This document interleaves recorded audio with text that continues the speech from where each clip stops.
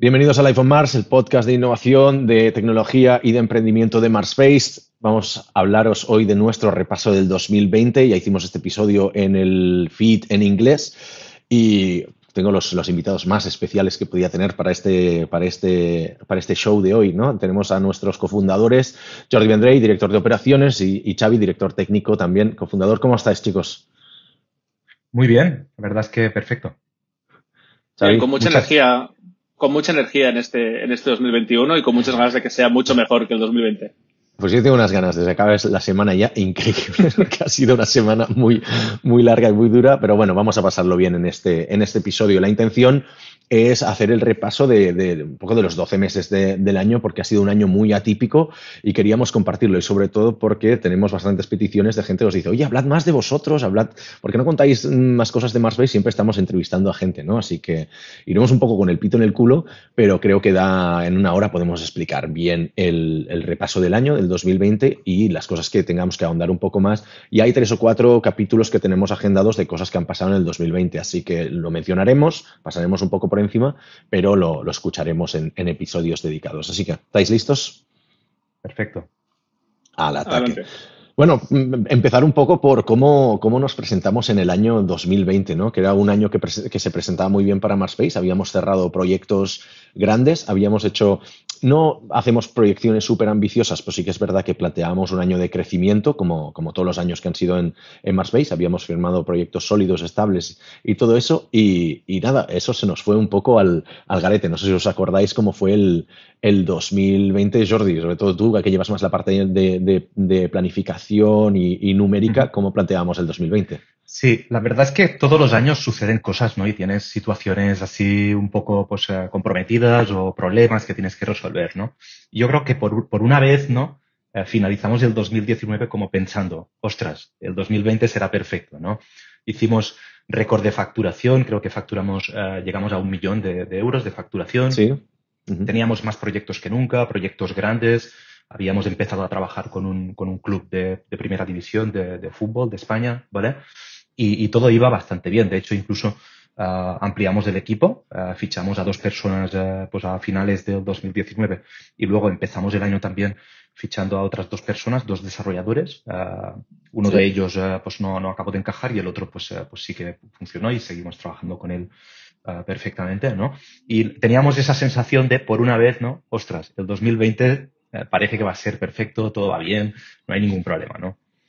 Sí, yo recuerdo mucho comentar. año que podamos empezar bien, ¿eh? porque en el 2019 empezábamos también como con las perspectivas muy altas y se nos cayó nuestro cliente más grande el día después de la reunión de socios. Dime, Xavi, dime. Sí, yo recuerdo comentar, la frase que se me quedó fue, bien, ya vemos que la rueda va girando, van viniendo nuevas oportunidades y de gran entidad, ¿no? Y la verdad es que tenemos que consolidar, ¿no? Tenemos que seguir haciendo lo que estamos haciendo, pero mejor. Y este va a ser un año en el cual no vamos a sufrir, ¿no? pues toma, no vamos a sufrir luego lo que sucedió. Exacto. Bueno, y aparte de la, parte financiera, pues también la parte tecnológica empezábamos con muy buen pie porque ya veníamos trabajando con React desde, desde hacía un tiempo, pero realmente habíamos mm, cerramos un par de contratos grandes, ¿no? Xavi, no sé si quieres contarnos un poco más de la parte tecnológica, cómo lo enfocábamos en 2020. Sí, la verdad es que fueron, fueron buenas noticias por la parte de, de React, porque es una apuesta que empezamos a hacer en Marsbase hace dos años en la cual pues cogimos miembros del equipo que teníamos trabajando en la tecnología y, digamos, lo ofrecimos como, como un servicio más de Massbase. Antes de esto, Massbase estaba más centrado en la parte de Angular y, y Ruby on Rails, ¿no? Entonces, desde, hace dos años empezamos esa transición aprovechando el conocimiento del, de, de los desarrolladores de la empresa. Y la verdad es que este año 2020 fue muy importante por lo que dices, ¿no? Porque dos empresas muy distintas, ¿no? Una quizás una mediana empresa y la otra una gran, una gran, una gran, una gran empresa confiaron en nosotros para, para llevar a cabo sus proyectos de desarrollo con React. Em, empezó muy interesante y, bueno, lo que pasa es que luego tuvimos que compaginar los retos tecnológicos con también los retos humanos ¿no? que, nos ha, que nos ha llevado el año. Sí, a comentar, bueno, una de las empresas, pues no la podemos comentar porque por, contrato, pero es una, empresa del sector industrial de, Cataluña, solo podemos decir eso. Y la otra, es importante mencionarlo, que a través de uno de nuestros clientes en Suecia, trabajamos para uno de los principales eh, private equities del mundo. O sea que realmente era un proyecto de mucha envergadura del, sector financiero y con, mucho, con datos muy sensibles, pero realmente ha sido un reto. A, todo pasado, hemos trabajado todo el año en, en él y, y, ostras, ha sido un proyecto muy, muy, bueno, un gran reto y realmente eh, es lo que decías tú. O sea, al final la gente nos conoce por, por Ruby, por nuestra trayectoria en Ruby y quizás Angular, que fueron las dos tecnologías que empezamos haciendo desde que nos fundamos hace siete años, pero durante el camino hemos ido incorporando otras tecnologías como Ionic, como, como React, como Node, pues eso, algunas hace tres, cuatro años, algunas eh, hace dos, pero se nos conoce menos, ¿no? Así que invitar también a la gente que nos está escuchando que si quien trabaja en React, pues también eh, es, es, una buena casa, casa para hacerlo. Otra cosa que es destacable del, del, 2020 que empezamos a trabajar, o sea, nosotros también nos gusta trabajar mucho para, para cierta tipología de, clientes y no sé por qué, pues hemos acabado trabajando algunas veces para ONGs, ¿no? Y en este caso empezamos a trabajar en un proyecto de, para la, la Agencia Europea del Cambio Climático y sido un proyecto un poco, un poco poco habitual, pero que hemos hecho más el proyecto de, ideación, de diseño, de, una generación de un prototipo para una empresa de, bueno, perdón, para una asociación de este tipo que realmente no es el, no es nuestro target, ¿no? Generalmente trabajamos para empresas, pero empezar a trabajar para, para una entidad creo que son público-privada y que depende de, donaciones y que tiene unas, unas unas eh, tecnicalidades bastante interesantes a la hora de hacer burocracia, la verdad que ha sido un poco challenging. Pero bueno, ha sido también un proyecto interesante y poder contribuir a una causa como es el tema de la lucha contra el cambio climático a nivel de empresa, creo que también, que también es destacable. Pero bueno, eso era antes del lockdown, ¿no? Ahí empezábamos a ver algo y creo que habíamos comentado que queríamos destacar que realmente, aunque luego hemos sido muy hemos seguido todo lo que es el protocolo de, de pues, cancelar los viajes de empresa y todo. Es verdad que cuando a nivel de enero y febrero, pues que se escuchaban cosas y tal, bueno, es verdad que no lo acabamos de calibrar del todo bien, ¿no? Y pensábamos, bueno, pues igual esto será cosa de unas semanas, no, no teníamos experiencia, ¿no? A nivel de pandemias no sabíamos cómo iba a ir. Y también otra cosa destacable, que eso creo que ayuda a explicar el siguiente bloque, que es el de marzo, abril, mayo, que es el de es la primera crisis que vivimos nosotros como empresarios y como, como bueno, como emprendedores, como empresarios. O sea, la anterior la habíamos vivido como empleados, pero esta hemos tenido que tirar mucho ahí de, de la experiencia de los demás. Yo casi que dedicaría más tiempo a este bloque. Vamos a entrar al bloque de qué pasó entonces en marzo. O sea, qué pasó ahí. Em, ahí cambiaron muchísimas cosas a nivel organizativo. Bueno, Jordi, quiero explicar, pero empezamos a cancelar los viajes de empresa y los, los get together, ¿no? Teníamos algunos viajes ya planificados, en particular pues un, un Martian Day, un evento que hacemos en Barcelona con todo el equipo, ¿vale? que lo hacemos, eh, bueno, lo hacíamos cada dos meses, ¿vale? Más o menos. Y mm. luego teníamos también el Company Retreat anual, que hacemos pues lo mismo, eh, cada, año pues en un sitio distinto. Y todo esto lo teníamos ya bastante planificado porque suele ocurrir pues en, en pues, antes del verano, ¿no? En, en, esas fechas, ¿no? Y yo recuerdo que creo que de los tres fui de los primeros que, fui el primero en, decir, hostia, eh, esto no, no, está claro, ¿sabes? Eh, no, no, sé si tenemos que seguir haciendo los eventos o no, pero no está nada claro. Y de hecho creo que lo, lo empezamos a ver un poco más claro cuando em, hablamos con el equipo, ¿no? Hablamos de forma individual con cada, con cada, pues con cada persona del equipo de, de Base y vimos que, claro, al final pues había diferentes sensibilidades, diferentes formas de verlo y es cuando creo que nos dimos cuenta de eh, no podemos organizar un evento presencial en marzo si hay gente que no se va a sentir cómoda acudiendo a Barcelona cogiendo un avión. ¿no? Y aquí es quizá donde eh, nos dimos cuenta de, de, lo que estaba pasando y de que pues, teníamos que cancelar absolutamente todos los viajes, todo lo que teníamos previsto.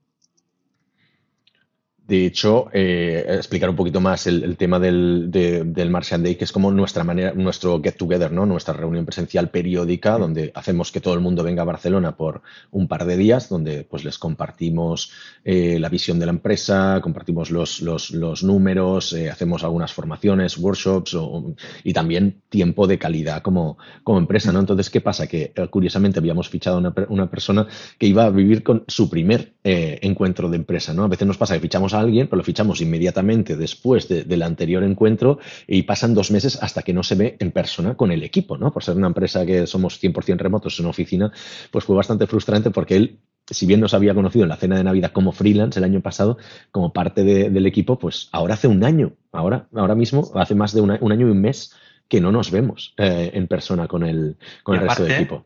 Una de las cosas que más valoraba esta persona eran los get-togethers, ¿no? Eran los viajes, el poder estar con el equipo. Entonces fue un poco, pues, eh, una lástima, ¿no? Pero, pero bueno, eh, aún así, pues, lo que hicimos fue empezar a hacer los eventos de forma online con todo el equipo y la verdad es que han funcionado bastante bien. Sí, porque José Luis, José Luis llevamos trabajando con él pues que un par de años ya como freelance y, luego al final pues es la típica persona que trabaja como freelance, lo hace bien y ya un punto y dices, hostia, tío, nos interesa tenerte en el equipo y se incorporó y precisamente quería hacer más cosas de equipo y mira, ha venido una pandemia, pero bueno, eso evidentemente no podíamos, no podíamos planearnos, ¿no? Yo también dejé de hacer, o sea, aparte del, del retreat, aparte del, del Mars Day, yo estaba pasando una semana al mes en Madrid para temas de, para temas de expansión de negocio y, eh, y la verdad es que eso también o sea, me acuerdo de ya en enero ya no fui, pero más por temas personales y febrero cancelarlo. Vimos, eh, evidentemente, otras cosas, no solo fue hablarlo con el equipo, pero ver que se cancelaban cosas tan tochas como el Mobile World Congress creo que ayudó bastante a tomar esa decisión.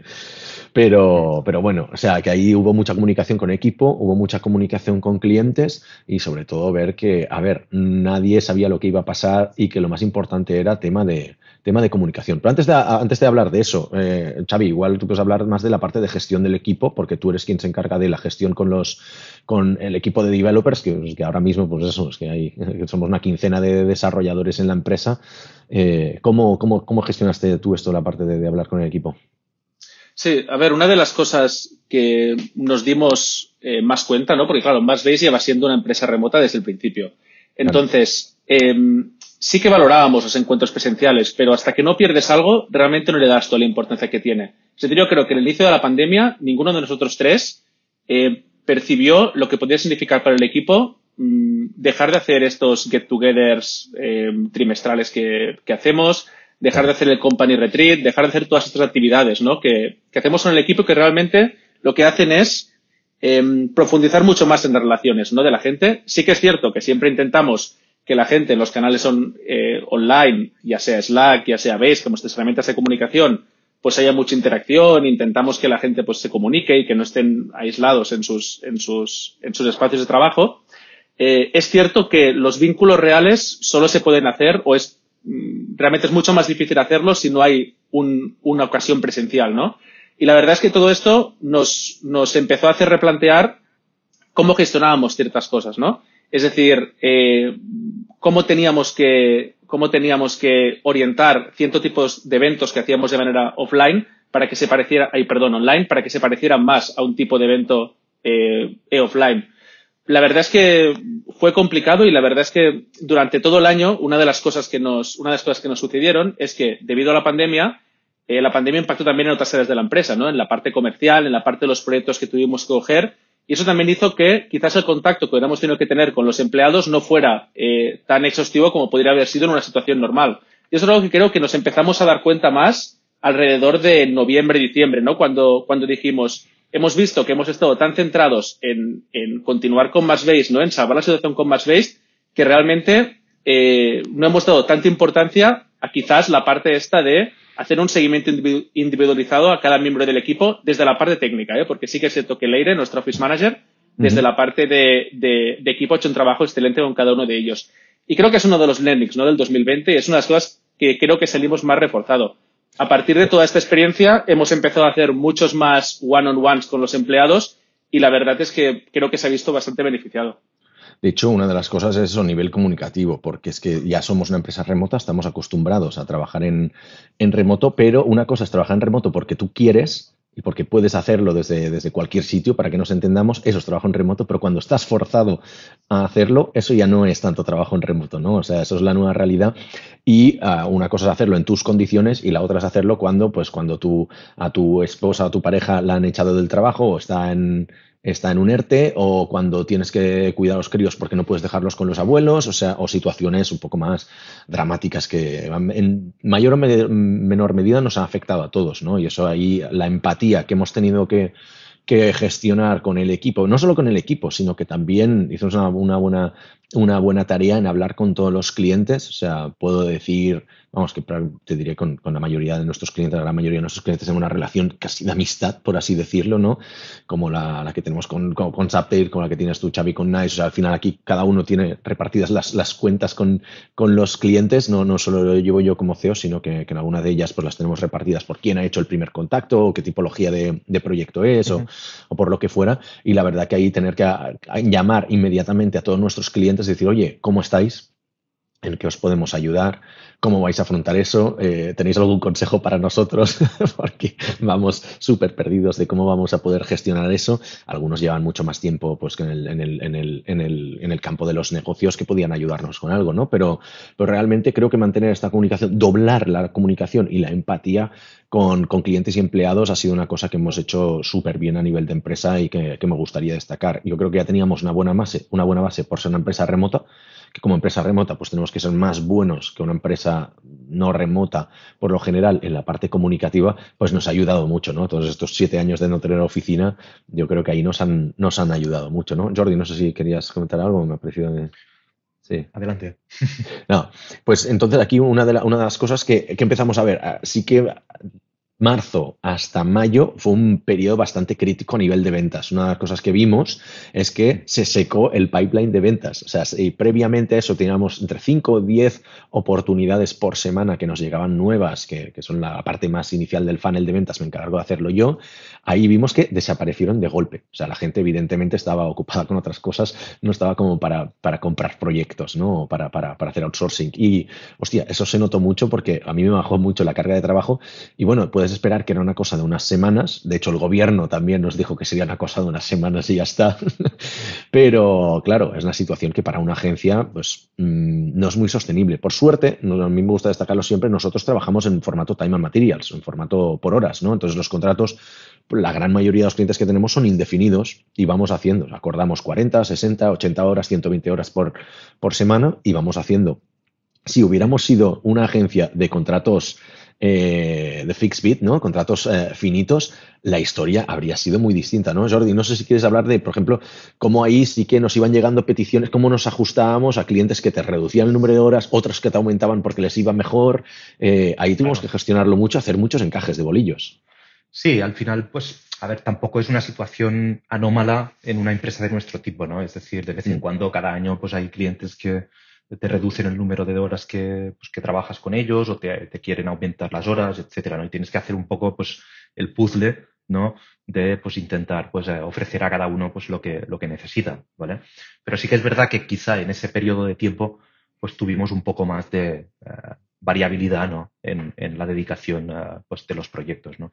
Entonces, aquí lo que me gustaría destacar también es que nos ayudó un poco, pues, el tener Uh, algunos proyectos pequeños, ¿no? Que, que, quizá pues en otras épocas dices, uh, pues no sé, como que te pueden llegar a molestar, ¿no? O tienes la tentación de sustituirlos por proyectos más grandes, ¿no? Pero al final, pues cuando hay situaciones de este tipo, pues también uh, tener pues estos proyectos más pequeños, ¿no? pues te puede ayudar bastante. Por eso yo nunca he sido muy partidario de, pues de despreciarlos, ¿no? Sustituirlos, ¿no? Claro. Al final, pues te, te pueden sacar las castañas del fuego, digamos, ¿no? Y creo que pues, eh, en ese periodo pues seguramente nos ayuda un poquito también el tener no solo clientes grandes, sino también clientes pequeños. En particular, quizá lo que más nos afectó fue un proyecto grande uh, que terminaba ¿Sí? por aquel entonces, terminaba creo que en abril, justo a principios de abril, justo en esa, en esa, época, y era el típico proyecto grande que tú, aunque no tengas un contrato ya firmado ¿no? de lo que va a ocurrir a continuación, tú ya sabes que ese proyecto va a tener un segundo desarrollo, una segunda fase, un mantenimiento. ¿Por qué? Porque era un proyecto muy grande para un club de fútbol, ¿no? De primera división y que, pues bueno, en principio, pues eh, era lógico y era obvio que el proyecto no terminaba del todo, sino que luego, pues, eh, continuaría, ¿no? Pero claro, al final la pandemia, eh, pues tuvo un impacto muy grande en todo lo que son los, las instituciones deportivas, ¿no? Los clubes de fútbol, de, de básquet, etcétera. Y justamente, pues, nos impactó con, con ese proyecto, ¿no? Pero bueno, tuvimos unos días, unas semanas en las que pues parte del equipo pues estuvo pues estuvo li libre, ¿no? Sí. Haciendo pues proyectos pequeños y, y, proyectos internos y luego por suerte pudimos ya pues uh, colocar a esas personas en proyectos ya de clientes.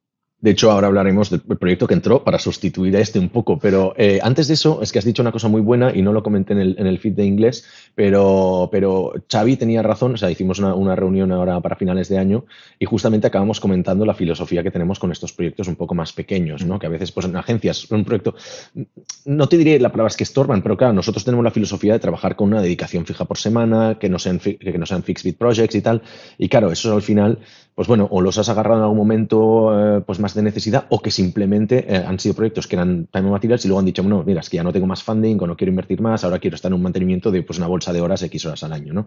Y Xavi dijo una cosa muy buena hace, hace un tiempo que dice, mira, podríamos convertirnos en una empresa que nunca ha dejado a un cliente para irse con un cliente más grande. Y eso es verdad, siete años que tenemos, no lo hemos hecho nunca, y no sé qué, qué, te, qué te guió en esa inspiración, Xavi, pero me pareció brillante y dije, oye, pues ¿sabes qué? Vamos a, vamos, a, vamos a comunicarlo y vamos a decirlo y mantengámoslo como filosofía de empresa. Bueno, al final es un tema de empatía, yo creo. Es decir, cuando trabajas para un cliente lo puedes ver solo como trabajo o te puedes poner en lugar del cliente. Y yo creo que nosotros una cosa que nos diferencia es que desde siempre nos hemos puesto en el lugar del cliente. Entonces, claro, ¿qué valor tiene más vez para una empresa si te contrata y luego cuando acaba la colaboración, porque eres muy pequeño, le estorbas y te deja tirado? La verdad es que eh, el valor que tú aportas como empresa es muy bajo realmente lo que, lo que hace un cliente cuando te contrata, cuando empieza a trabajar contigo, no es solo que quiere que le hagas su trabajo, sino que confía en, tú, en ti, está, mm, digamos, está poniendo unos recursos a tu disposición para que tú le ayudes, para que tú le acompañes. Si luego, en el momento en que a ti no te va bien, ya le dejas tirado, la verdad es que dice muy poco a favor de nuestra empresa. Lo mismo sucede con proyectos que son quizás complejos o proyectos que pueden no ser atractivos para otras empresas. Cuando nos viene una empresa que dice, mira, es que mi anterior proveedor me, hizo un desastre, tengo aquí una plataforma que es muy difícil de mantener, ¿me podéis ayudar? Hay muchas empresas que simplemente te dicen, no, no, es que esto está mal, un proyecto que no tiene test, un proyecto que está mal mantenido. Yo, no, yo no me quiero ocupar de esto. Yo creo justamente el valor de más veces es que si el cliente tiene disposición de mejorar, si el cliente, eh, digamos, tiene una actitud positiva eh, con nosotros y con su trabajo, nosotros no le diremos que no. Nosotros aceptaremos su trabajo y lo aceptaremos como un challenge. Y de hecho, claro, también va más orientada a nuestra filosofía de empresa, que no es tanto el crecimiento. Muchas agencias lo que piensan es ser, oye, en cinco años quiero tener a 100 desarrolladores o ser 300 personas o salir a bolsa. En nuestro caso, no preferimos hacer las cosas bien y dormir por la noche, con lo cual yo me siento súper tranquilo cuando pienso en esas cosas y veo que no hacemos las malas praxis que, que dan tan mala fama al, sector, ¿no? Eh, el proyecto que decíamos, bueno, o sea, este proyecto que, para este proyecto de, primera división que tenía que entrar en mantenimiento y se pausó, eh, nos dio oportunidad a poder pillar un proyecto que nos llegó una, me acuerdo que me llamaron una, me llamaron del Servicio de Emergencias Médicas de Cataluña, Servicio de Emergencias Médicas, para pedir si podíamos hacer un proyecto urgente. Eso era un sábado por la mañana, vi varias llamadas en el teléfono y digo, ¿quién cojones me llama un sábado por la mañana? Y, llamé y, y, nos dijeron, mira, necesitamos esto. Eh, Hablaremos, no, entraremos muy en detalle porque grabaremos un episodio de esto, ¿vale? Pero sí que podemos pasarlo un poco por encima, quería explicarlo, dar el contexto, porque es un proyecto del cual no hemos podido hablar porque técnicamente era un poco secreto o confidencial, pero ya es información pública, ¿no? Ha salido en el boletín oficial la contratación y todo, con lo cual no hay ningún, ningún problema y ahí está detallado. Pero básicamente era un reto. ¿Por qué? Porque nos llamaron un fin de semana y era un proyecto para el cual teníamos que entregarlo eh, un miércoles. La, fase inicial era como un super MVP, MVP un tracker de, bueno, ahora, ahora explicaremos de, lo que era, ¿no? Pero tuvimos que, tuvimos una charla nosotros tres, lo cual fue bastante interesante para decir, oye, este proyecto tiene que salir bien a la primera, tenemos a todo el mundo ya mm, colocado en proyectos, la única manera de hacerlo es que lo hagamos nosotros tres el fin de semana y en horas extra al menos la fase inicial. Luego, si se alarga, pues ya podremos poner a gente del equipo, ¿no? Pero era muy, muy crítico. Y no sé si queréis comentar un poco a alguno de los dos cómo fue esta, cómo fue esta charla, esa toma de decisiones, porque involucraba también a la familia, en verdad. Sí, fue complicado, ¿no? Porque en, espacio de pocas horas no tuvimos que hacer una estimación de un proyecto, tuvimos que hablarlo con la familia, porque al final, pues sabíamos que nos, implicaría trabajar muchas horas. Fuera de, pues, pues más, más, allá de las horas que ya dedicábamos a Marsbase, ¿no? Y, y, bueno, fue, complicado. Seguramente, visto en retrospectiva. Pues eh, quizá tendríamos que haber dicho que no, lo que sea, ¿no? Pero porque luego, pues, fue un proyecto que nos supuso bastante estrés durante un tiempo, ¿no? Y también hizo que descuidáramos. Otras partes de, de ¿no? Pero de todas formas fue bastante, bastante interesante. De hecho, quiero destacar también que creo que fue el primer proyecto, ¿no? Que hicimos Xavi y yo en Base, ¿no? Juntos, eh, después de, pues igual hacía, pues no sé, cinco o seis años. el primer año. Que, hacíamos. que no hacíamos un proyecto juntos. Claro, para poner un poco... Sí, para Barcelona poner... Startup Map, seguramente. Es que no, seguramente. no sé si habéis hecho alguno más. O Skiller. No, bueno, creo que no. A ver, para poner un poco en, en, en contexto, claro, un proyecto que iba a requerir trabajar fines de semana y fuera de horas habituales. Y nosotros sabíamos que si lo aceptábamos no podíamos obligar a ninguno de nuestros empleados a trabajar en este proyecto. Entonces sabíamos que la responsabilidad iba a ser nuestra. Así que las horas las íbamos a dedicar nosotros. Entonces, eh, pero al final nos sentimos, aunque dice Jordi que eh, quizás visto en retrospectiva hubiéramos tenido que decir que no por todo lo que supuso, eh, sí que es cierto que en ese momento nos sentimos moralmente obligados a aceptar el proyecto, porque al final era un, era un proyecto que lo que iba era a mejorar un poco la logística de estos tiempos tan locos iba, iba orientado al, al, al, al mundo médico, ¿no? Entonces, al ámbito Exacto. médico. Y justamente era de primera necesidad en ese momento. Y mira, aunque tuvo cosas negativas, sí que es cierto que de cara al equipo fue un boost de motivación, ¿no? Porque saber que tu empresa eh, no se queda, digamos, eh, alejada de la situación que esté viviendo el mundo en ese momento, sino que se involucra activamente y que mm, pone su, su, digamos, su pieza, ¿no? Para ayudar en todo, en toda la situación que estábamos viviendo, yo creo que para muchos miembros del equipo fue un motivo de orgullo. Y lo que me sorprendió mucho, y con esto, y con esto acabo con este tema, es sí. que pasada la primera, los primeros días de locura absoluta en el cual Jordi se puso otra vez a, a, a maquetar, a maquetar eh, hacer estilos y yo me puse otra vez a desarrollar, a desarrollar como un loco, ¿no? Y a, y a quitar un poco las telarañas que tenía. Eh, pues justo después de esta parte, un poco abrimos, ¿no? Explicamos el equipo de situación y comentamos, mira, no es para nada obligatorio, pero si alguien quiere colaborar en este proyecto, sabiendo que va a ser fuera de horas y por, y por supuesto, sabiendo que este fuera de horas se va a cobrar aparte y se va a cobrar a un precio muy superior al que, al que pagamos normalmente los, los, los salarios, estáis invitados, ¿no? A participar. Y mucha gente del equipo, pues, se prestó voluntaria a hacerlo. Muchos de ellos, que incluso normalmente, pues, tienen una, le dan mucha importancia a la, a la conciliación familiar, ¿no? Con, con, el tema laboral. Dijeron, no, es que me quiero involucrar porque es algo que, que, es de primera necesidad, ¿no? Y quiero estar ahí también. La verdad es que fue un motivo de orgullo también, ¿no? En ese, en ese aspecto. Sí, y yo creo que también una de las cosas por las que decidimos hacerlo es porque como no hacemos nunca horas extra, ¿no? O sea, al final tenemos una filosofía bastante marcada de... Bueno, Xavi ríe porque es CTO y él tiene que hacer horas extra, ¿no? Pero generalmente tenemos la, la, filosofía de, de, la, de, no trabajar más de 40 horas por semana, ¿no? Porque es eso, nosotros creemos que es, un, es, una, es una carrera de, eh, de fondo, es una maratón no, y no nos ayuda nada a hacer eso, esos tipos de ni picos de trabajo y todo eso, ¿no? Y al final, por decir, mira, como no lo hacemos nunca, en verdad nos sentimos como en el primer año de la empresa, decir, hostia, la sensación está de currar hasta tarde, currar los fines de semana, casi que se nos había olvidado, ¿no? Y, y había mucha gente, es verdad, o sea, también quería destacar y agradecer el paso adelante que dieron algunos de decir, hostia, vemos aquí que hay liderazgo por parte de la empresa, ya hemos comentado que habíamos hecho estos proyectos del cambio climático, pues también meternos en temas de coronavirus, joder, y de hecho comentar que creo que fue la primera reunión en, las que convocamos, en la que convocamos a todo el equipo por videollamada, no sé si en toda la historia o algo así, y que debían pensar, hostia, qué chungo, hay algo chungo ahí, simplemente les, les hablamos de este proyecto y les dimos un poco la calma de que la empresa estaba bien, o sea, a pesar de que en la situación en la que era y afuera. Eh, siempre hemos ido muy bien de caja gracias a la, a la gestión financiera de, de, Jordi. Tenemos los clientes a largo plazo, con lo cual los contratos estaban asegurados y teníamos, queríamos transmitir trans, tranquilidad porque es que realmente la gente estaba inquieta. ¿No? Eh, pero no, yo no, no, me extendería mucho más hablando de este, de este proyecto, porque ya te digo, yo graba, eh, bueno, grabaremos un, episodio dedicado de esto. Yo creo que da para un episodio y hablar bien, porque fue un reto tecnológico, organizativo, a nivel de, a nivel de, gestión de expectativas con el cliente, sobre todo. Pero también destacar que de, este, de este bloque, un, bueno, al menos de, de marzo, que es que dejamos de organizar, nosotros en la empresa organizamos un evento que se llama, que se llama Startup Grind, para quien no lo conozca, ¿no? Y también dejamos de organizarlo y ahí tuvimos la idea de pasar a hacer los eventos los eventos online, ¿no? Nos estaba cancelando todo y no tenía sentido organizar este evento que hacemos una vez al mes. Y la cosa es que ah, de ahí surgió un poco la protoidea de acabar lanzando nuestro propio podcast, ¿no? Porque uno de los movimientos que creo que hicimos muy bien es de decir, vale, Startup Plan lo hacemos una semana, hay una vez al mes, pero mm, cada una vez al mes ahora se hacía un poco, se hacía poco, ¿no? Y me acuerdo que fue eso, a principios de, no, a finales de marzo, cuando empezamos el lockdown, el mismo lunes que empezaba el lockdown, llamé a uno de nuestros amigos que ya ha charlado en el podcast, Sergio Gago, y le dice, oye, ¿podemos grabar un episodio o, bueno, un Startup Grind hablando de cómo trabaja en remoto, porque claro, en nuestro entorno todo el mundo estaba empezando a trabajar en remoto, no habían hecho en su vida, no estaban preparados, no tenían formación, no tenían el equipo técnico, no tenían nada. Dije, vamos a hacerles como un workshop de trabajo en remoto. Y me dice, vale, ¿cuándo quieres hacerlo? Le digo, hoy a las 7 y a las 11 de la mañana. Lo pusimos online y tuvimos a más de 150 personas. La verdad es que fue súper bien y dije, wow, aquí hay algo. ¿Vale? Porque como fuimos los primeros en pasar a hacer eventos online, todo el mundo vino con nosotros. Y aparte los hicimos muy específicos a temáticas de esas de cómo tener conversaciones con los inversores, cómo, cómo ah, comunicar decisiones difíciles al equipo. Pero este remoto estuvo muy bien, porque con Sergio fue muy bien.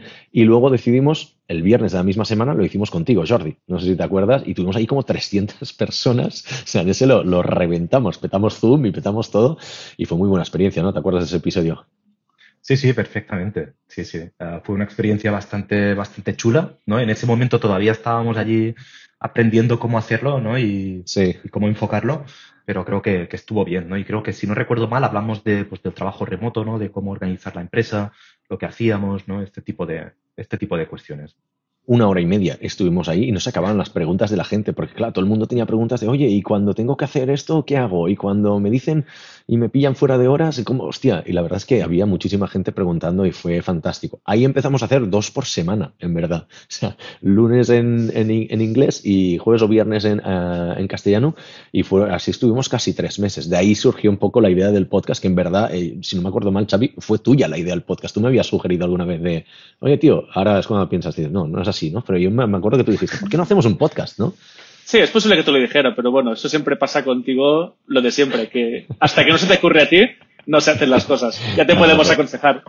Exacto. No, entonces, claro, abril y mayo, eh, ahora pues movemos un poco de, de, marzo, porque marzo en realidad pasaron muchas cosas, y abril y mayo fueron más aburridos en el sentido de que la realidad era esa, y no venían novedades, pero nosotros teníamos que gestionar muchos cambios, ¿no? Lo que decía Jordi antes de cambiar las, las asignaciones de los proyectos, problemas personales de la gente, o sea, todos nos afectó más o menos. Yo estaba más ocioso porque no, tenía tantas cosas por hacer por ventas, empecé a trabajar más en temas de backlog y eso también dio pie a que durante el verano, que ahora lo comentaremos, pues también cambiáramos bastante cosas a nivel operacional, ¿no?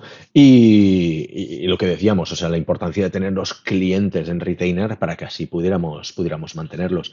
Decir que, claro, en esa época, marzo-abril, es cuando celebramos el, el, cumpleaños, el aniversario de la empresa. Entonces, este fue un poco, un poco pasado por agua porque no nos pudimos ver. Mm. Es una celebración especial. Hay un blog post en el que siempre escribo por el cumpleaños de, de las lecciones que hemos aprendido.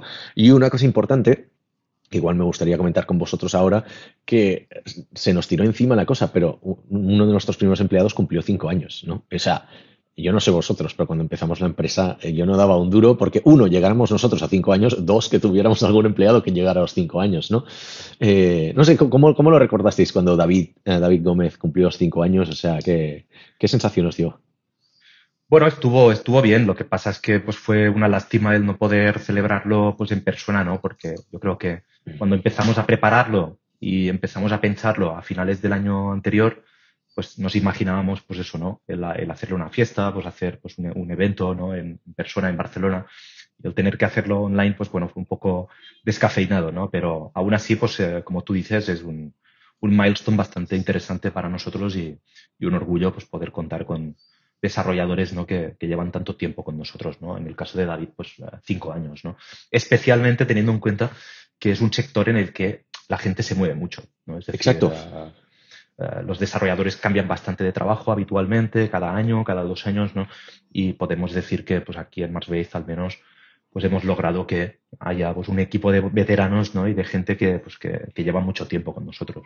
Sí, sorprende y de hecho quería comentar esto con Xavi porque claro, de golpe por nos hemos tenido que, adaptar a la idea o hacernos a la idea de que tenemos que hacer career plans, ¿no? Planes de carrera porque es que claro, David cumple cinco años, pero dentro de poco, si no los ha hecho ya, los, cumple Uriol y luego vendrá David Garbiende y vendrán cuatro o cinco en el próximo año que también van a cumplir cinco años. O sea, en verdad, para ser una empresa de siete años, que tengamos la mayoría de nuestra gente que lleva más de tres, es un, es un gran logro, ¿no? O sea, de hecho, el último empleado que se fue por su propio pie fue en 2017, septiembre, hace tres años y medio que no se va nadie de, de Marspace, ¿no? En ese sentido. Entonces, Xavi, ¿cómo, ¿cómo, estamos enfocando esto? Sé que estamos, es un work in progress, ¿no? Que estamos trabajando, pero claro, no tenemos ninguna experiencia de definir planes de carrera y es algo que nos estamos encontrando ahora. Bueno, sí, a ver, si la gente no, si la gente no se marcha más, debe, debe ser porque algo estamos haciendo bien, ¿no? Entonces, eso es un motivo también para estar, para estar contentos, pero no hay que conformarse con esto. A ver, yo creo que hablar de planes de carreras es muy ambicioso teniendo en cuenta la, la, el tamaño de nuestra empresa, ¿no? Al final, tú, tú, lo has comentado, una empresa de pues unas 15 personas, 16 personas, eh, es complicado estandarizar unos planes de carrera y que cada uno siga un camino un poco, un poco fijado, ¿no? Yo creo que lo que hemos empezado a hacer este año y seguiremos haciendo el año que viene es ir persona por persona y viendo cómo puede crecer, ¿no? Porque, por ejemplo, la situación que tiene David en la empresa es muy distinta a lo de una persona que lleve un año trabajando con nosotros, ¿no? David es un veterano, como, como has comentado. Eh, muchos de los conocimientos que, que, nosotros esperamos de un desarrollador, pues David los tiene, vamos, completamente aprendidos y los domina. Entonces hay que buscar en qué áreas puede mejorar, puede aportar más, ¿no? Pero también empezar a pensar que hay veces que simplemente hay que recompensar y valorar a una persona por el tiempo que lleva contigo, ¿vale? No solo por, por las cosas que te puede ofrecer más a más, ¿no? Porque como todos sabemos, fichar en el sector, en el sector tech, aunque nosotros no hemos tenido muchos problemas, sí que siento que es algo que es costoso, que lleva tiempo, que lleva esfuerzo. Entonces, el hecho de poder hacer que la gente se quede recompensándola adecuadamente por cumplir cinco años o cumplir diez años contigo, la verdad es que es un reto. Eh, sobre todo, para resumir un poco esta parte, lo que estamos haciendo es, analizando caso por caso cada una de las personas, ser muy transparente, decir, mira, yo creo que eh, nos aportas esto, nos podrías aportar más de esta manera, ¿te parece bien? ¿Te parece correcto? Hacemos un, hacemos un plan, unos objetivos para que tú puedas mejorar de cara a este nu nuevo año y vamos analizando cuál es tu progreso en base a esto. Exacto, y eso entronca con ya el siguiente bloque que quería, que quería tocar, que es el de verano. ¿Vale? Porque sí. verano fue, claro, si ya normalmente es temporada baja, en que la gente está de vacaciones y que llega, hay poca carga comercial, solemos trabajar bastante en el backlog, este año ha sido backlog exagerado, sobre todo más a nivel nuestro, o sea, los developers pues estaban ocupados, en verano todo el mundo tenía ocupación 100%, lo cual es inusual, ¿no? En, un, en una pandemia, pero los que no estábamos ocupados 100% quizás éramos nosotros porque se nos había quitado la parte de ventas. Entonces ahí, bueno, Jordi, eso es más tu, más tu parte, ¿no? Pero ahí implementamos bastantes cambios a nivel organizacional, sí. pues Basecamp, empezamos a invitar a los clientes, One Password. Comenta tú un poco la parte que, que estuvimos trabajando todo el verano, porque hay bastante chicha. Sí. Yo creo que es el verano del año pasado, ¿no? Uh, llegamos bast bastante quemados a él, ¿no? Es decir, Eso normalmente. Sí, por el proyecto todo, de, de, este. Por, sí, por el proyecto, por la situación, por el confinamiento, por no poder ver a la gente, por las relaciones sociales, ¿no? Casi todos los años lleva, llegas bastante cansado al verano, ¿no? Porque se hace muy largo pues de, pues de enero hasta julio, ¿no? Se hace muy largo el periodo y siempre llevas, llegas bastante exhausto, ¿no? Pero creo que el año pasado, pues fue un año particularmente complicado, ¿no? Y, y llegamos muy, muy cansados, ¿no? Al, al verano, ¿no?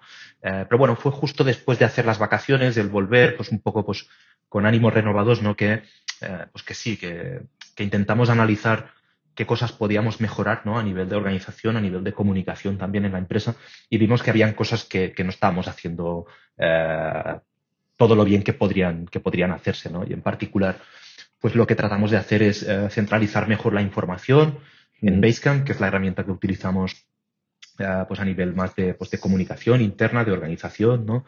Y, y bueno, mejorar pues diferentes procesos, ¿no? También el proceso de hiring, un poco pues hicimos como un repaso general ¿no? de to todas las cosas ¿no? que, pues, que importantes que hacemos y, tratamos de, pues de, mejorarlas, ¿no? que es algo que, quizá pues cuando, cuando tienes muchos proyectos y estás muy estresado con haciendo proyectos desarrollando, pues es difícil ¿no? parar un día y, y ponerte a pensar ¿no? qué cosas puedes mejorar, pues en ese momento creo que volver de vacaciones, ¿no? tener unas semanas con menos actividad comercial, pues pudimos, pudimos hacerlo y personalmente estoy bastante satisfecho, ¿no? De un poco pues la segunda mitad de año, ¿no? Así como de la primera mitad creo que estoy satisfecho de otras cosas, ¿no? Pero no tanto de la organización o la comunicación que tuvimos, claro. ¿no? A nivel interno. Eh, por diferentes motivos, ¿no? Por estar con el proyecto este, por, por un poco pues por la situación, porque sí. estás preocupado, por, por mil motivos, ¿no? Te tienes que adaptar. Así como pues no, no puedo estar 100% satisfecho, ¿no? De esa parte. Creo que de la segunda mitad del año y sobre todo pues hacia finales de 2020 y este, este inicio de 2021, pues estoy bastante orgulloso y bastante contento de lo que estamos haciendo, ¿no? De cómo, cómo estamos convirtiendo la empresa pues en un sitio eh, mejor, eh, en el que la comunicación es más asíncrona, hay más comunicación, animamos a la gente a que participe más, ¿no? Y todo el mundo como que está más motivado, ¿no? Creo que el 2020 fue complicado porque había un poco este ánimo general, ¿no? Eh, alicaído, ¿no? De este pesimismo, esta desmotivación, ¿no? Que, que, bueno, pues no la puedes evitar porque estás todo el día en casa encerrado, ¿no? Y creo que poco a poco, en la segunda mitad de año y quizá en parte por estas, por estos cambios, estas mejoras que hicimos, ¿no? hemos conseguido ir, irlo revirtiendo, ¿no? Y creo que ahora estamos en una buena, en una muy buena situación. Una cosa que hacemos muy bien y que me gusta destacar siempre que, haces tú, Jordi, es la parte de siempre querer mejorar en algo, ¿no? Siempre hay como ciertas mejoras incrementales que, vamos aplicando gradualmente en la empresa, ¿no? Y, es verdad que no hay momento de, pausa en la que no digas, oye, mira, hostias, que estamos haciendo esto, lo estamos haciendo mal, o se puede hacer mejor. Por ejemplo, mm. el tema de los, los, permisos en Google Drive. Toda la empresa tenemos montada en Google Drive y teníamos archivos compartidos con, con mucha gente y lo cambiamos a, pues, a los grupos, por ejemplo, el tema de la organización de One Password y todo eso. O sea, siempre tienes como una lista, parece, de cómo se puede incrementar un pasito la empresa y es verdad que aprovechamos estos, las temporadas más de backlog, ¿no? De pues tanto vacaciones, de navidades o, de verano, para este tipo de cosas. Con lo cual, no sé si querías comentar alguna en concreto, pero la verdad es que se agradece mucho y también motiva al equipo ver que la empresa va mejorando poco a poco. Sí, pusimos bastante énfasis en la parte de seguridad, sobre todo. Yo creo que ya éramos una empresa que tenía muy en cuenta la seguridad, ¿no? Pues el tener pues, One Password, por ejemplo, para almacenar todas las credenciales de los proyectos, de los clientes, de Marsbase, ¿no? Pero creo que pusimos un poco más de énfasis sobre todo en que cada uno tuviese acceso solo a lo que realmente necesitaba, ¿no? Y no tener acceso, pues no sé, si no estás en un proyecto, no hace falta que tengas acceso a esas credenciales, ¿no? Ah, de esta forma, pues bueno, es todo, un poco más seguro y evitamos que, pues, que, pues, que pueda haber algún problema en el futuro, ¿no? Claro. Y otra de otros grandes cambios que implementamos a nivel de herramientas es Jira, ¿no? Xavi, si querías comentar esta, esta parte, porque estamos utilizando para muchas cosas. Veníamos de no usarlo, siempre habíamos visto que era un poco over-engineering para una empresa como la nuestra, y al principio, la verdad, hace unos años Jira no era tan bonito, o no se adaptaba. Por decirlo de alguna forma. Por decirlo de alguna, forma, ¿no? Pero bueno. No, yo creo que es, yo creo que esto es cierto. Creo que en Bassbase nunca vamos a usar una herramienta que no sea, que no sea bonita, ¿no? Tiene que entrar un poco también por los ojos. A ver, al final cuando hacemos proyectos nos gusta que tengan una buena UX y una buena UI. Entonces, las herramientas que consumimos nos gusta que también tengan una buena usabilidad. Si no, las tienes que utilizar día a día y si, y si funcionan mal, lentas, si son así complejas, no nos gustan, ¿no? Es decir, eh, entonces, ¿qué pasó con Jira? Con Jira pasó un poco lo que, lo que ha empezado diciendo Jordi, ¿no? Que gracias a que teníamos clientes pequeños, ¿no? En la pandemia, pues pudimos sobrevivir bastante bien, pues eh, moviendo gente de proyectos grandes que se terminaban a proyectos más pequeños, ¿no? ¿Qué es lo que sucede cuando tienes proyectos pequeños? Lo que sucede es que tienes una persona quizás trabajando en dos o tres proyectos.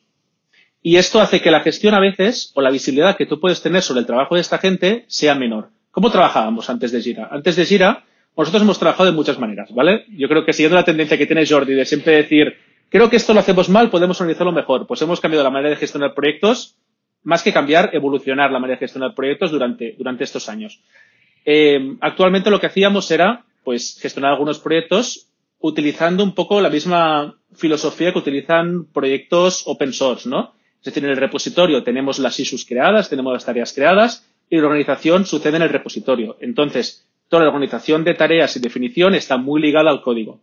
Este era un buen approach, pero tiene un problema y es que tú lo ves todo centrado en el proyecto en sí, ¿no? Pero si yo, por ejemplo, quería saber qué hacía tal desarrollador, no tiene una manera centralizada de ver qué estaba haciendo o qué tenía pendiente o qué había pendiente de mi parte en cada uno de los proyectos.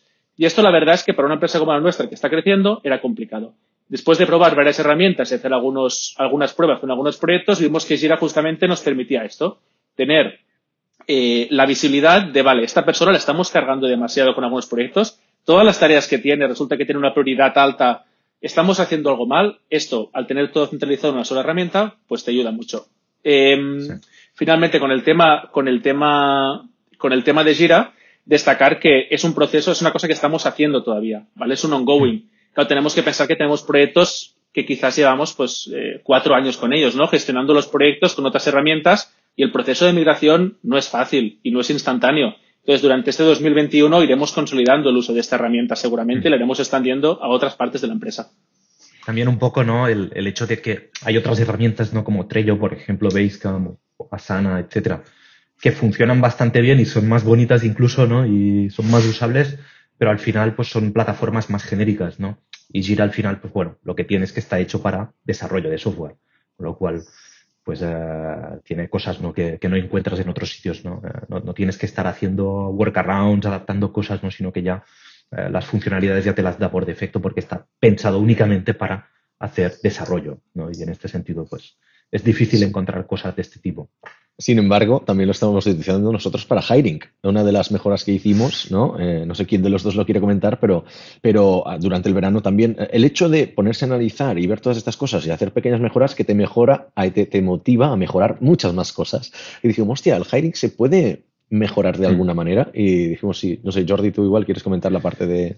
Sí, pues es, un poco pues el, el, intentar encontrar un equilibrio entre eh, utilizar eh, la mejor herramienta para cada cosa, ¿no? Y al mismo tiempo no tener 50 herramientas distintas, ¿no? Porque si tienes 50, pues también es un poco complicado ir pasando de una a otra, ¿no? Entonces vimos que previamente utilizábamos eh, un proyecto de Basecamp, ¿no? Para, para todo el tema del hiring, ¿no? Y no es que estuviese mal, pero tenía algunos problemas, ¿no?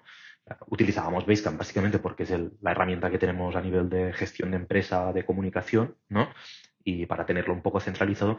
Y al poner en marcha pues, Jira para los proyectos de desarrollo, pues pudimos también mover allí todo el tema de hiring, que al final pues eh, también es un flujo con diferentes columnas, diferentes estados, ¿no? Tarjetas para cada candidato, etcétera. Y vimos que, pues, que se adaptaba perfectamente. Y bueno, les ha permitido. perdón, Xavi, dime. Sí, Sí, y nos ha permitido una automatización que antes no teníamos. Es decir, ahora mismo cualquier futuro candidato que pues rellena el formulario de la página web, eh, que está basado en Typeform, si, si no me equivoco, eh, automáticamente se crea una tarjeta en Jira, se asigna a Leire, que es la persona que hace la entrevista, luego se van asignando las diferentes eh, prioridades a cada uno de los candidatos, va pasando por diferentes etapas en las cuales yo luego cojo el relevo para hacer entrevista técnica. Entonces, la verdad es que ha quedado un proceso bastante, bastante organizado y que es muy eficiente y esto pues impacta positivamente en la empresa. Y la última mejora que aplicamos un poco así más a grandes rasgos es que lanzamos el podcast en, junio. De hecho, en la primera semana de junio lanzamos el podcast con la intención de, bueno, explorar un tipo de contenido diverso. Como no podíamos hacer eventos presenciales con Startup Brain, dijimos, bueno, eh, hemos perdido una pata importante de lo que es de nuestro, nuestros, eh, nuestra maquinaria de marketing. Eh, vamos a ver si podemos compensarlo con alguna otra acción, ¿no? Y es verdad que como ya veníamos haciendo estos eventos de Startup Brain dos veces a la semana, dijimos, oye, en verdad no son tanto Startup Brain por la tipología, por los speakers que hay, todo eso. tendría mucho más sentido en un formato podcast, eran mucho más específicos. Dime, Jordi. El podcast y el canal de YouTube también, que siempre se te olvida. Correcto. Eh, lo tenemos ahí. Claro, yo lo pongo en el mismo, o sea, sí, sí, es verdad. O sea, podcast, tenemos, ya teníamos un canal de YouTube en el que poníamos charlas antiguas, es verdad que el podcast lo tenemos en formato audio, en las plataformas, todas las plataformas, en verdad, y luego también lo ponemos en vídeo, o sea, los grabamos en vídeo y, a ver, al final hay que aprovechar también que, que, eh, YouTube te da muy buen SEO eh, y que al final, pues ya, que nos cuesta, ¿no? Grabar también el, el, el, vídeo y ponerlo, ponerlo ahí. O sea, hay mucho espacio de crecimiento, pero fue un buen experimento. La verdad es que está tirando bastante bien. Estamos contentos con, el, con, con los números que estamos teniendo y de momento todavía estamos descubriendo formatos y, topics y, y, vamos a ver, pero la verdad es que está, estoy contento con este experimento. Em, dicho esto, o sea, el bloque de verano prácticamente se podría alargar hasta octubre, porque no fue hasta octubre en el que empezamos a ver que las ventas ya empezaban a, recuperarse, ¿no? O sea, yo en octubre ya dije, oye, yo hago un report semanal los viernes para el equipo eh, de, cómo está el pipeline de ventas, ¿no? Y, justamente siempre había sido como bastante aburrido y me acuerdo de decir en octubre, de, oye, estamos ya a niveles de oportunidades de casi pre-pandemia. O sea, de como, como, estábamos en enero y teníamos bastantes, empezamos a negociar con bastantes empresas, algunas de ellas mm, grandes, de nombres relevantes, ¿no? Pero es que hasta entonces lo que habíamos hecho era todas estas mejoras organizativas, trabajar en los proyectos que ya teníamos y como no te diré como si no hubiera habido una pandemia, pero la verdad que fue en ese sentido, eh, fue bastante estable. Quizás una cosa que nos planteamos, que merece la pena que nos paremos ahí un minuto, es decir, que en la reunión de socios que tuvimos en septiembre decidimos que, oye, llevamos una vida muy sedentaria, más por el coronavirus, empezar a incidir un poco más en, la, en los hábitos saludables, ¿no? Jordi, tú propusiste el tema de crear un, grupo en Strava, pero bueno, si quieres comentar un, un minutín eso. Sí, sí, un poco pues, eh, pues es la tendencia ¿no? que, general que había, ¿no? De, pues el estar todos en casa, pues a hacer menos deporte, salir menos, tener menos actividad, ¿no? Pues empezaba a tener unos efectos negativos, ¿no? En, en, algunas cuestiones, ¿no? Entonces, eh, sí, tuvimos la idea pues de, pues de hacer un, club de Strava. Eh, luego también, pues a finales de este año, pues hemos empezado también a ofrecer unos beneficios nuevos, ¿no? al equipo ¿no? Eh, en forma pues de, pues de, un budget que pueden, que pueden gastar cada año en, formación, pero también en, en, en salud, ¿no? en, deporte, pues en, gastos, pues, eh, pues eso, eh, cosas para hacer deporte o para, para, mejorar tu salud. ¿no? Y creo que está, está guay que, que más veis pues ponga, ponga el foco en esto ¿no? también. Es decir, que forme parte un poco de, de los valores de, de la empresa.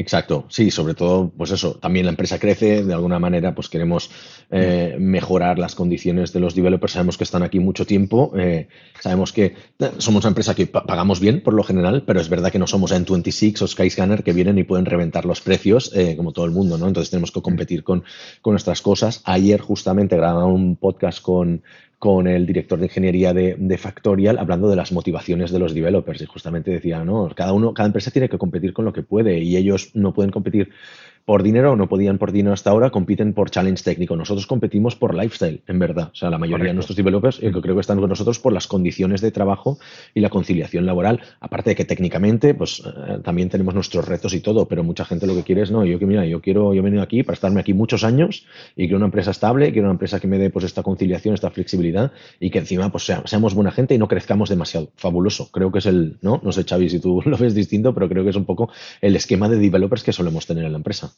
No, yo lo veo, yo lo veo así. Al final, yo siempre he dicho que más veces es un lugar perfecto para formar una familia, ¿no?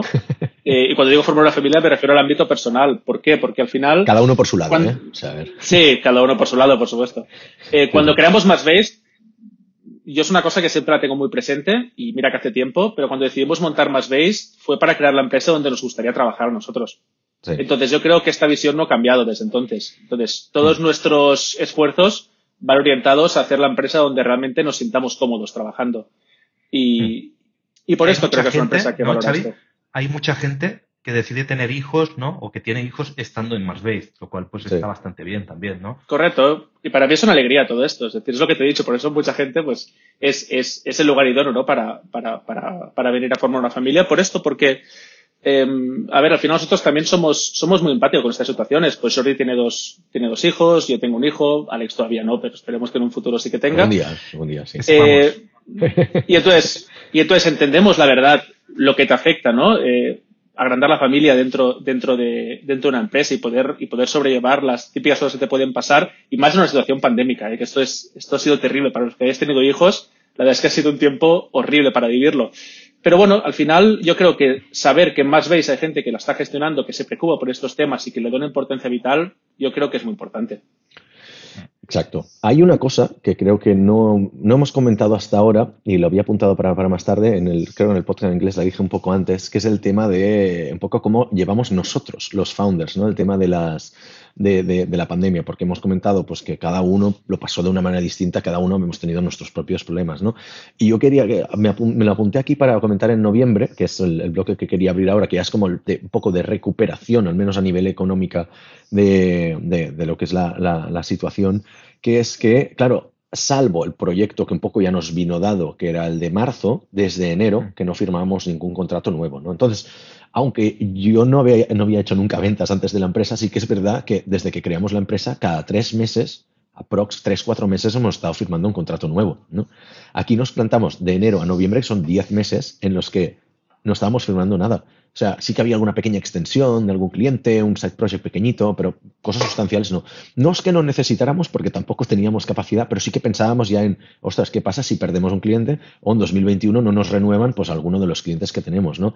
Y yo recuerdo que a mí, a nivel personalmente, empecé a sentir un poco de ansiedad de decir, hostia, no puede ser que no estemos vendiendo, algo no estoy haciendo bien, ¿no? Y de hecho lo compartí con el equipo, ¿no? Hice un post en Basecamp que lo compartí con el equipo, eh, compartiendo mi vulnerabilidad, que creo que, que, luego salió bien, o sea, yo lo hice espontáneamente, ¿no? Y, y, la, gente lo agradeció bastante por decir que, que, creamos un entorno en el que se pudiera hablar de este tipo de cosas, ¿no? Creo que siempre hemos sido muy abiertos y también vosotros habéis compartido vuestras cosas, ¿no? Eh, tenemos los highlights de los viernes, que cada, pedimos que los viernes el equipo, cada uno envíe los highlights de su semana, que pueden ser de trabajo, personal, y siempre hay alguien que se abría un poquito más, explica, joder, estoy cabreado porque las obras de la casa no me van bien, o estoy un poco deprimido por lo que fuera, o mi hijo no le va bien en el cole, etcétera, etcétera, ¿no? Pero en ese sentido creo que uno, de los aprendizajes que me dio 2020 es que también se puede liderar desde la vulnerabilidad, desde la fragilidad. ¿no? sé qué experiencia habéis tenido vosotros, si lo habéis percibido.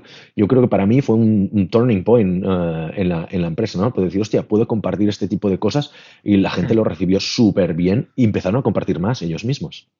Yo creo que en parte es también porque muchos nos sentíamos igual, ¿no? Al final, y el, ver pues, que, que, tú, que eres el CEO, pues lo compartía ¿no? Pues también hace que, pues bueno, que veas que no eres el único, que hay más gente que se siente igual, mm. pues que, que, el ánimo es bastante bajo, ¿no? Pues que estamos un poco desmotivados, ¿no? Que la situación es una mierda, que es imprevisible, te preocupas, ¿no? ¿Qué va a ocurrir?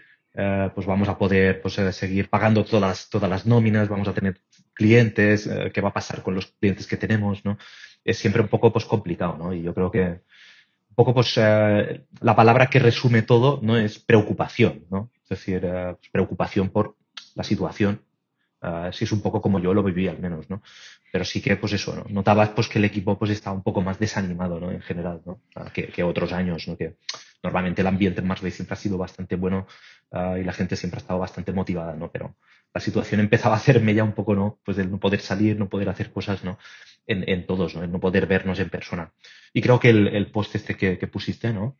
pues creo que ayudó bastante a, a normalizar un poco la situación, aceptarla, ¿no? Y, y, luego pues ya empezar a buscar soluciones, a ver qué cosas podíamos hacer, ¿no? Para ir revertiendo un poco pues esta, este ánimo, ¿no?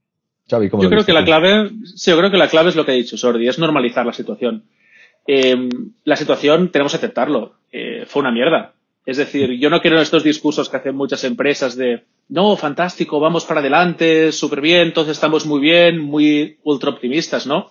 No quiero esto, si la situación es mala, es mala y hay que afrontarla, hay que asumirlo y hay que comentarlo y comentarlo abiertamente y sin tapujos, ¿Qué es lo que hiciste tú, Alex. Es decir, ahí tenías dos opciones, o dar un mensaje optimista de cara al futuro, un mensaje muy poderoso, un mensaje de estamos muy bien, vamos para adelante, o sincerarte con el equipo. Y yo creo que al final, a la larga, lo que se valora más es la sinceridad, ¿no? Es decir, porque al final si no estás engañándote a ti mismo y engañando al resto de gente. Y justamente desde entonces, pues creo que muchos miembros del equipo nos hemos sentido eh, animados también a compartir nuestras cosas, ¿no? A, quizás a crear más vínculos incluso con otros miembros del equipo, ¿no? Abriéndonos. Y esto ha hecho que, pues, la situación que estábamos, eh, principios de año, verano, en la cual es cierto que la comunicación dentro de Más bajó un poco. Es decir, quizás la gente, por las preocupaciones, por el cansancio de pandemia y demás, bajó un poco la comunicación en canales públicos de Más ahora ha remontado mucho. Lo que ha sido noviembre, diciembre, este principio de año, está siendo muchísimo. mejor. Entonces. Mm, Yo creo que también es porque llegaron un par de noticias buenas. O sea, así como llevamos 10 meses sin, sin vender un proyecto grande, es verdad que en noviembre firmamos uno, dos, tres tres y uno que no, se ha firmado todavía por temas de funding, pero bueno, llegamos a acordar mm. tres. No sé si los firmamos todos en noviembre, diciembre, pero Rundit, Apark and Go y, y ahora me olvido del y Infopraca, pues lo, Infopraca los, los, firmamos o los acordamos en noviembre y eso fue un gran boost para el equipo, ¿no? Porque es que, mm. aunque, como decía, no necesitábamos los proyectos, es verdad que si estás en una empresa y percibes que la empresa no vende, igual es como, ups, ¿sabes? O sea, no, no sé, a mí me genera ansiedad por no venderlos, igual algún developer decía, hostia, no tenemos proyectos nuevos, ¿no? No, no llega el proyecto de, el, el, el post de Basecamp de New Project, ¿sabes? Desde hace un tiempo, hace más de medio año que no llega ninguno, ¿no? O sea, eh, fue una época de negociaciones, perdona, ya te dejo. Eh, digo que fue una época de negociaciones porque es que a la par que estábamos negociando con estos, que nos venía todo de golpe, claro, teníamos, nos estábamos adaptando a todos estos cambios que estábamos haciendo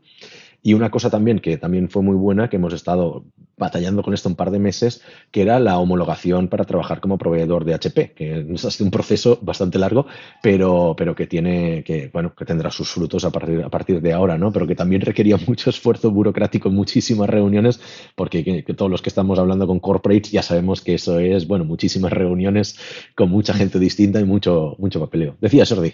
Sí, yo creo que también ah, una cosa que querría destacar es que normalmente la motivación y el ánimo del equipo ¿no? es contagioso. ¿no? Es decir, si tú estás desmotivado, estás desanimado porque no estás vendiendo cosas, ¿no? le contagias esta desmotivación o este desánimo a la persona que tienes al lado. ¿no? Y creo un poco, pues, también había un poco de eso. ¿no? Y el hecho de empezar a vender eh, proyectos, empezar a pues, un poco a retomar pues, la actividad comercial, de, de pues de, de, motivarnos, ¿no? De, de, ver que las cosas empezaban a cambiar, pues también uno contagió a otro, ¿no? Y al final, pues, eh, pudimos revertir un poco, pues, esta, este ánimo general, ¿no? Que, que, era un poco más pesimista, un poco más alicaído. Y dentro también os diré... Dime, dime, no, sí, también os diré que quien percibís más, más esto es vosotros. ¿Por qué? Porque tú, Alex, ves el pipeline de ventas y ves que no se mueve. Jordi ve la caja y ve que, pues, pues está ahí, que no termina de subir, está, está en un punto intermedio yo sí que es cierto que compartí con algunos desarrolladores esta preocupación, me la, me la, transmitieron, me preguntaban si va bien la empresa, pero muchos otros al final también se centran en su proyecto, se, se centran en hacer su trabajo y quizás esto les viene un poco más, más, eh, más ajeno, ¿no? Quizás es lo que dice Jordi, que se preocupan más por el hecho de ver la preocupación, ¿no? En, en, en, Correcto. en la gente de alrededor, porque al final en su trabajo del día a día esto no les implica, ¿no? Sobre todo si están en un proyecto que es un proyecto largo, que es un proyecto sin de time and material, sin fecha de finalización. Y otra de las grandes noticias que tuvimos en noviembre que me gustaría destacar, pero no mucho porque, Xavi, te daré un minuto, pero porque eso tenemos un episodio que ya, ya, está, ya está agendado con, con el cliente, ¿no? Eh, nuestro cliente más, más longevo Nice, ¿no? Del País Vasco, claro, que llevamos cinco años trabajando. Bueno, vamos para seis, no, seis ya, serán seis años trabajando ahora. Eh, hicieron un rediseño muy ambicioso en el que estuvimos trabajando, bueno, son un año y medio. Coméntalo, coméntalo tú, lo darán más detalles ellos en el, en el episodio, pero creo que ese parto tan largo tuvo un efecto positivo en el equipo, ¿no? También. Sí, a ver, fue un proyecto largo, un proyecto complicado. Al final, Nice es una, es una, es un medio de comunicación que si bien dentro de España no lo podemos considerar que esté con, con el top de medios, ¿no? En, en, cuanto a recursos, en cuanto a tamaño, en cuanto a presupuesto, eh, sí que siento que son muy ambiciosos con sus propuestas. Es decir, ellos no tienen ese complejo de, de, de medio, de medio pequeño, ¿no? De medio mediano, sino que ellos aspiran siempre a ser los mejores, ¿no? Y eso hace que sea muy challenging, ¿no? Porque tienes que trabajar con un equipo más pequeño, pero aspirar a lo sí. que, a lo que hacen los grandes.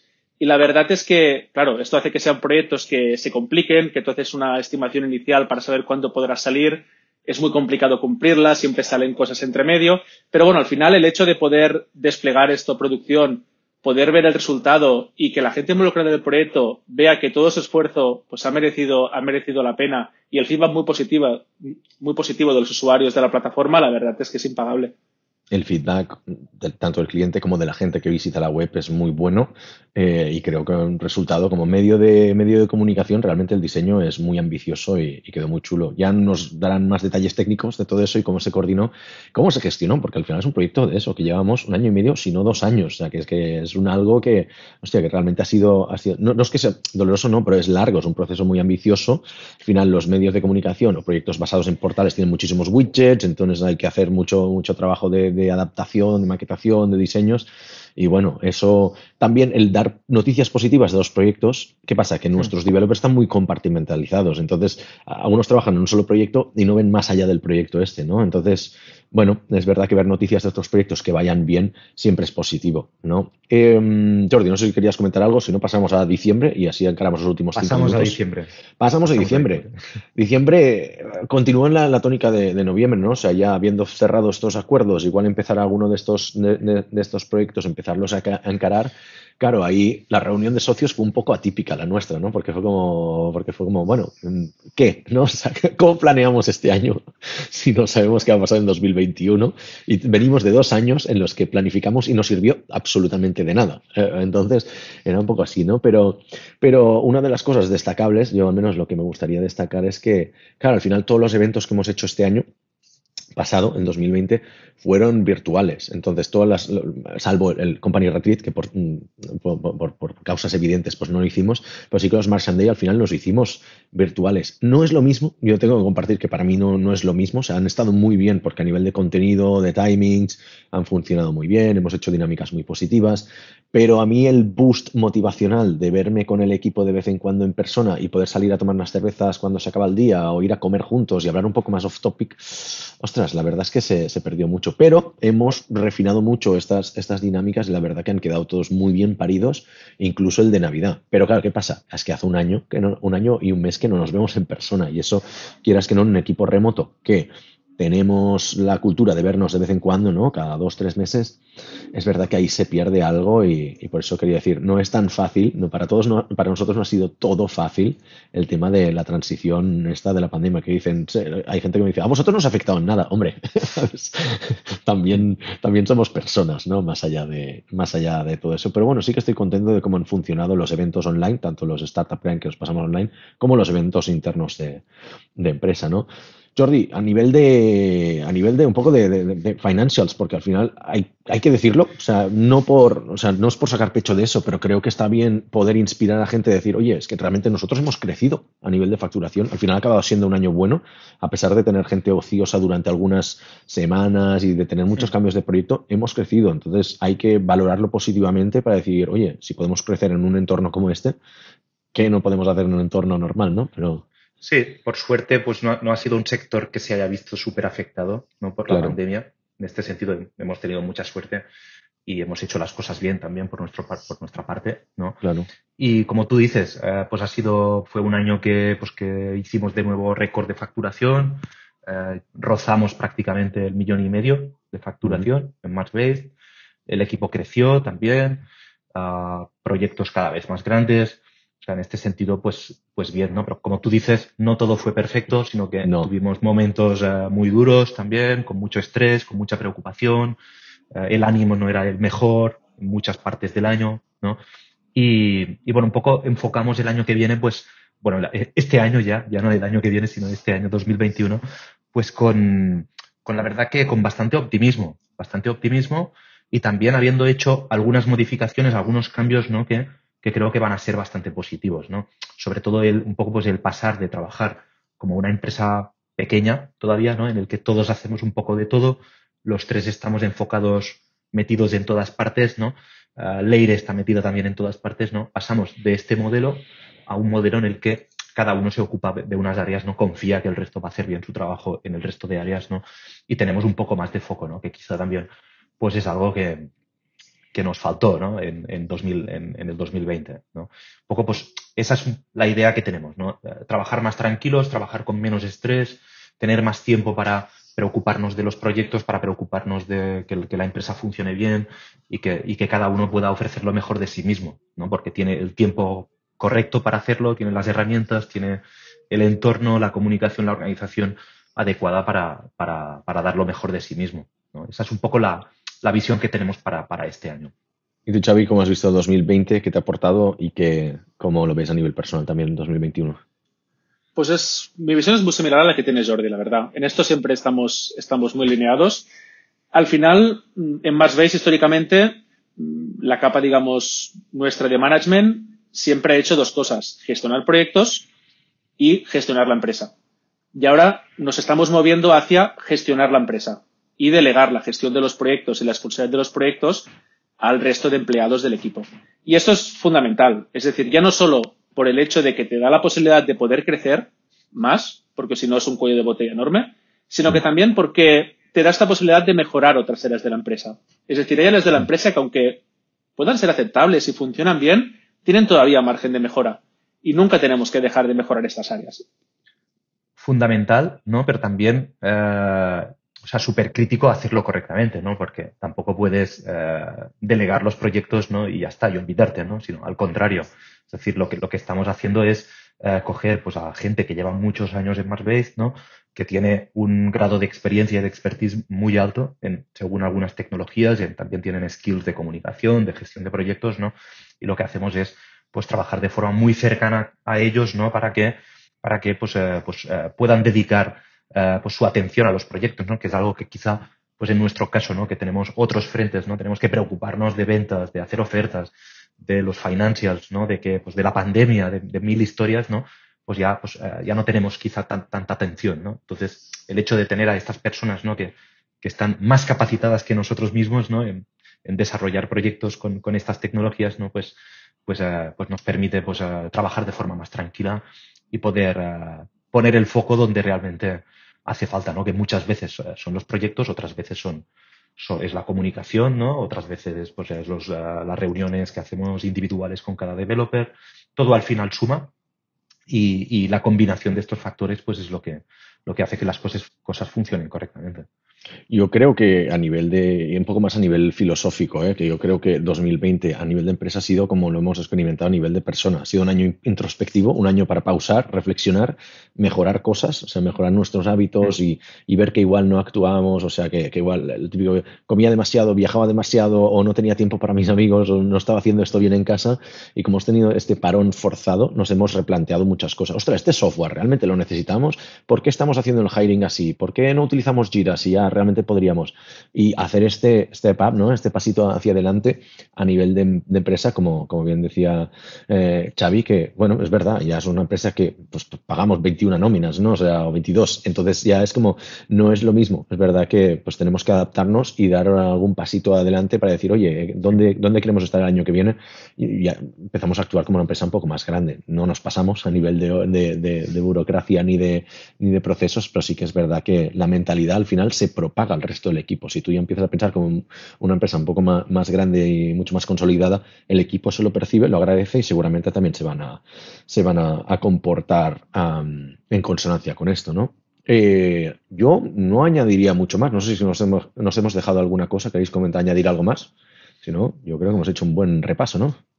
Pues eso añadiría que espero que el, en 2021 el repaso que hagamos lo podamos hacer presencial. Eso sería ideal, poder grabar este podcast de manera presencial. Serían muy buenas noticias.